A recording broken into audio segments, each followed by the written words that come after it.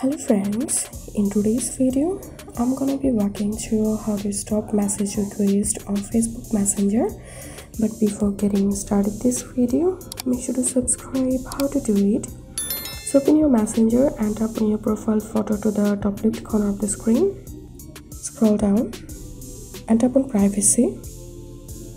Tap on message delivery. And tap on people with your phone number and select don't receive request.